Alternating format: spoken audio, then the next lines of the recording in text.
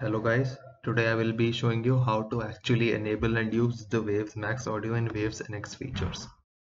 So on probably on some, some systems, Waves Maxx Audio may not be enabled by default and you can check by choosing the camera uh, NX option. Here your head is supposed to move, this head is supposed to move along with your own head and the camera should be enabled. But as you can see, uh, even though it shows that waves is enabled it does not actually work no matter what you do. To fix this just right click on speakers open sound settings and go to device properties and then select additional device properties. And then just go to advanced and enable audio enhancement